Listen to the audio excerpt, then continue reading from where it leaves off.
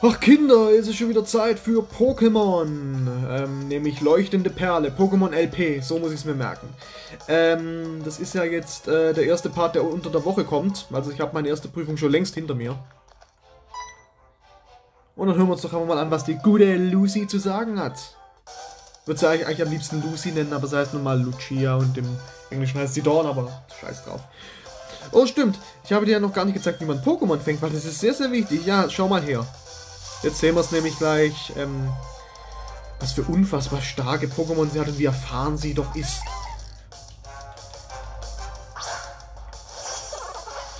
So, sie hat ein Gelast und dieses Gelast ist auf Level 5. Ja, diese Erfahrung. Übrigens, ich möchte anmerken, hätten wir nicht bei unserer Mutter Bescheid gesagt, hätte sie uns äh, vorher und hätte gesagt, geh erstmal zu deiner Mutter und sag Bescheid, bevor ich dir was zeige. Ja, und es ist auch genauso, wenn es umgekehrt wäre. Also wenn wir jetzt beispielsweise die Frau wären. Das ist dementsprechend nicht problematisch. Mensch, 25 Pokebälle für so ein Teil. Für so ein Tutorial. Also es ist unmöglich. Was ich deutlich informativer finden würde, ist, wenn es einmal scheitern würde mit dem Fangen damit es auch gezeigt wird. Dass es durchaus mal daneben gehen kann. Aber nein, habe ich ja nur Erfolgserlebnisse. Ja, das war nicht schon von schlechten Eltern. Eigentlich sollte man dem Pokémon aber noch mehr KP abziehen, als ich es getan habe. Es ist wichtig, die KP eines Pokémon so weit wie möglich zu verringern. Und ähm, das wird halt, äh, der Indikator dafür ist quasi, wenn der Balken, äh, der Energiebalken rot ist. Ein kerngesundes Pokémon lässt sich nämlich nur sehr schwer fangen. Oh, und wenn du ein Pokémon mit einer Attacke zum Beispiel in Schlaf versetzt, ist es noch einfacher zu fangen und du redest mich ja gerade in den Schlaf. Nun denn, hier als kleine Starthilfe schenke ich dir noch ein paar Pokebälle. Du hältst Pokebälle. Jawohl. Wenn du auf längeren Reisen viele Pokémon im Team hast, äh, bist du auf der sicheren Seite. Außerdem macht es mit Gesellschaft mehr Spaß. Jetzt muss ich aber wirklich los. Be spoiled. Ja, und weg ist sie. So, ähm, ja, wir gehen damals einfach lang. Weil jetzt kommen nämlich auch die ersten Trainerkämpfe. Was wir gerade hier auf der Route haben, jetzt ein paar stärkere Pokémon hoffentlich. Weil jetzt sollte eigentlich vorausgesetzt sein, dass wir schon ein bisschen trainiert haben. Jawohl, Level 4. Ich würde sagen, das schlagen wir einfach mal. Weil normalerweise bin ich eigentlich immer der, der jetzt äh, vor wenigen Pokémon flüchtet. Und ihr werdet vielleicht auch merken, dass ich hier recht wenig Pokémon fange. Und jetzt werden aber manche Leute sagen, aber was, du hast doch vorher erwähnt, dass die VMs wieder da sind. Ähm, Teilweise. Aber dazu, wie gesagt, erst später mehr, weil ich möchte jetzt hier noch kein Pulver verschießen. Alles, wenn es kommt, wenn es kommt.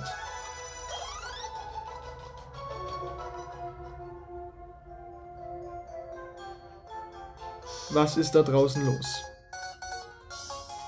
Es ist so nervtötend mitten bei einer, äh, wenn, man, wenn man sein Haus direkt an der Straße hat, die ständig befahren wird. So, ähm, der erklärt uns ja quasi, ja, wenn zwei Augen sich treffen, was eigentlich gar nicht stimmt, weil er schaut mich an, geht auf mich zu und redet mit mir, äh, dann beginnt ein Pokémon-Kampf. Ja. Relativ undynamisch die Trainer hier mal wieder. Und was erwartet man schon Großartiges?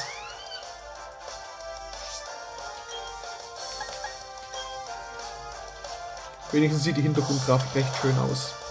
Und das ist doch jetzt mal ein, äh, ein Level, mit dem ich viel anfangen kann. Level 5. Das ist Che.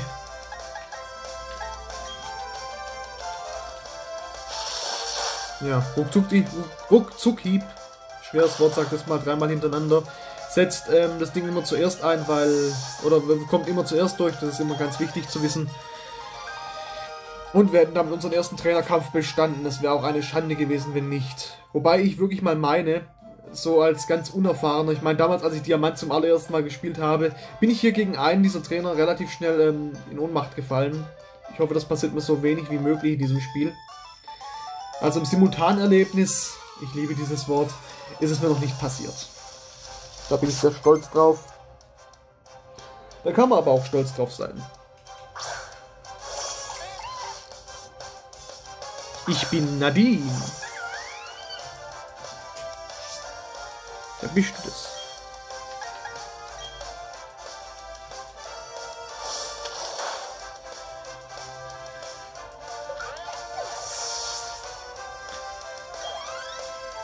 Ich würde sagen, es ist hier mal wieder das auf den falschen Bildschirm drauf geflogen. Muss ich sofort korrigieren. So. Erratum gefixt. Was ist ja an sich kein Fehler. Kann ja mal passieren. Nur so viel labert wie ich, braucht man sich nicht wundern, dass da am Ende was übrig bleibt.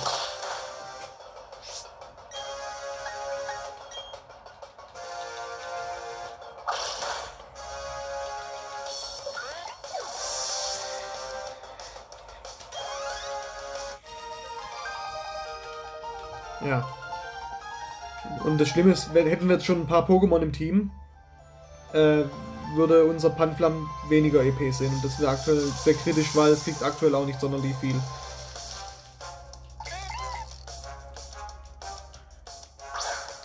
Wobei ich euch vielleicht mal eine Sache zeigen möchte. Das habe ich ja vorher schon mal angesprochen. Ja, gegen das kämpfe ich jetzt nicht mehr. Da bin ich mir zu gut für. So, ähm, wir gehen jetzt mal hier auf Beutel. Da haben wir schon mal so viel Tränke und wir haben 20 Pokebälle. Ja. Können wir uns das Geld lange Zeit sparen, hier irgendwelche Pokebälle zu kaufen, weil die brauchen wir nicht. Ich habe tatsächlich den Fehler gemacht, aber ich habe es nicht besser gewusst. Ich habe äh, 10 Bälle gekauft, noch bevor diesem Tutorial. Also man kann schon, eigentlich schon vor dem Tutorial anfangen mit Pokémon fangen. Das ist ja auch der Witz dran. ich finde, da hätte man definitiv einen Überspringen-Button einbauen können. Meine, in der ersten Generation war es ja auch äh, keine Obligation, sich das zeigen zu lassen von diesem alten Mann. Da in ähm, Vertania City. Ich muss mich wieder an die Namen gewöhnen, weil ähm, so häufig spiele ich das, äh, spiele ich Pokémon nun auch wieder nicht. Und selbst habe ich es auf Japanisch gespielt. Hier sehen wir übrigens Shinux. Das ist ein Teammitglied von uns gewesen in Diamant, soweit ich weiß. Und wir hatten, glaube ich, noch Kramsev. Also zumindest die letzte Entwicklung war ja ähm, Luxio, soweit ich weiß. Also keine Ahnung, mal wieder. Da hat man noch die Dialga zur Peise. Die, Vorentwicklung davon kann man übrigens in, in dem Spiel fangen. Äh, oder auf, auf, dieser Route fangen. Weiß nicht, ob das auch für ähm, Perl gilt. Weil es gibt ja unterschiedliche Exklusive. Aber das sollte es erstmal gewesen sein mit ähm, dieser Route hier. Wobei können wir eigentlich noch auf Level 10 trainieren. Das wäre vielleicht ganz schön, wenn wir mit Level 10 die Stadt betreten. Ja, warum nicht? Aber wie gesagt, großartig trainieren lohnt sich aus zwei Gründen nicht. Erstens EP-Teiler und zweitens, ähm, ja, die EP, die wir bekommen, sind in dieser Generation eh nicht sonderlich viele für solche kleinen Kämpfe. Für so klein Vieh. Das macht zwar auch Mist, aber es muss nicht zwingend was Gutes heißen. So, ja, jetzt noch ein Pokémon erledigen und dann sind wir eigentlich schon durch.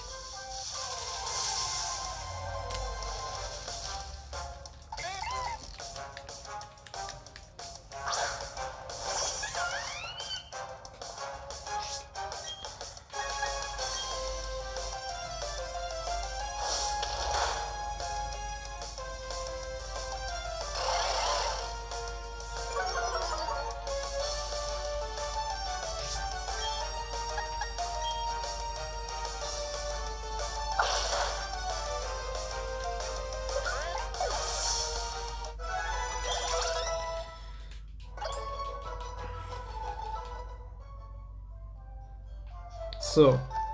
Und ab dafür. Jubelstadt.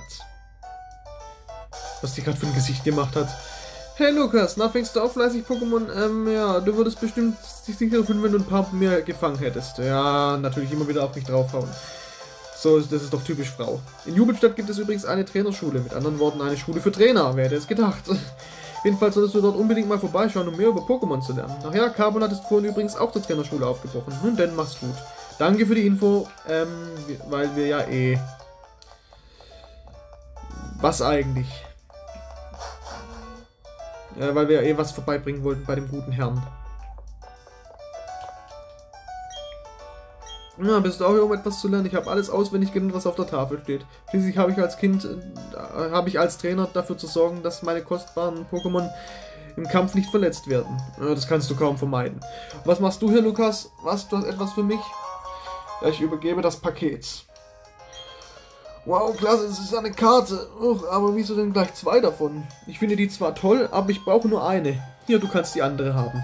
Wir erhalten eine Karte. Hm, wenn ich mich hier nach der Karte richte, dann heißt mein nächstes Ziel wohl Erzählingen. Dort gibt es auch eine Arena, ideal zum Trainieren meiner Pokémon. Schließlich bin ich auf dem besten Weg, der größte Trainer aller Zeiten zu werden. Man sieht sich. Ja, hier können wir jetzt erstmal noch so ein bisschen rumkämpfen. Ja, das braucht man nicht lernen. Ich weiß da mittlerweile sehr gut Bescheid. Also so gut kann ich es noch. Ich würde am liebsten mal hier die Lehne meines Stuhls ein bisschen anders einstellen. Aber ansonsten hört er mich nicht gut genug. So, gegen die können wir nämlich kämpfen. Ich weiß nicht, ob das auch im Originalspiel so war. Wahrscheinlich setzen die irgendwelche Attacken ein, die mit diesen Statusveränderungen zu tun haben. Ja, in geschlossenen Räumen außerhalb einer Arena kämpfen ist eigentlich auch eher untypisch. Aber ich finde es schön, dass sie jetzt wenigstens das hier so in den Hintergrund eingebaut haben.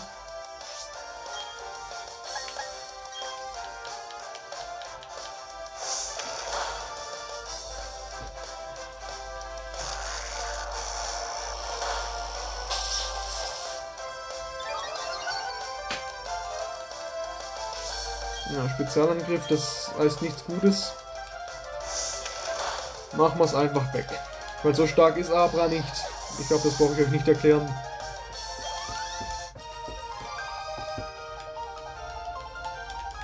Und das war's mit Lasse. Lasse war nicht so klasse. So. Äh, wir setzen mal wieder einen Trank ein. Oder wieder, wir setzen zum ersten Mal einen Trank ein. So funktioniert ein Trank, Leute. Erstaunlich, nicht wahr?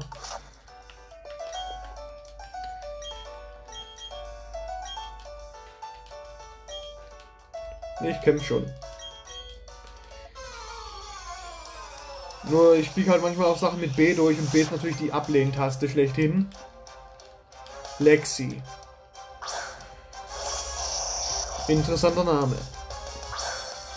Das wäre eigentlich ein cooler Name für eine Tochter. Weil ich bin weit davon entfernt, Vater zu werden. Was ja mit 23 jetzt nicht äh, unüblich wäre, wobei ich weiß gar nicht, wie es da so ausschaut, ähm, ab welchem Alter man so sein erstes Kind kriegt. ich bin eh weit davon entfernt, also daher. Aber Lexi wäre durchaus ein netter Name. Für den man aber auch leicht gemobbt wird, also ja.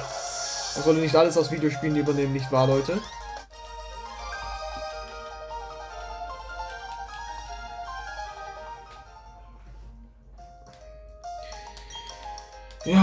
Du warst dir sicher. Und was ist hier mit TMs? Hast du da irgendwie was zum Erklären? Wie bist Vor allen Dingen, schau dich mal das mal an, also die, äh, die, die Proportion dieses Stuhls im Verhältnis zu den Beinen, das sind ja richtig kleine Beine. Das sieht irgendwie nicht so gesund aus, ich weiß nicht. Sollte mit den Beinen schon den Boden berühren.